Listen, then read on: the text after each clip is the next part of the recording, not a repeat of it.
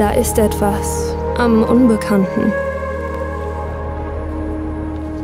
das dir das Gefühl von Heimat gibt.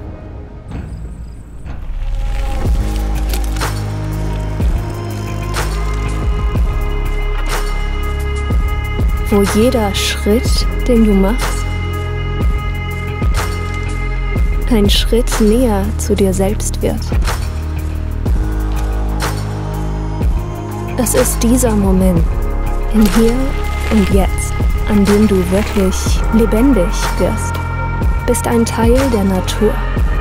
Und die Natur ist, wo du hingehörst.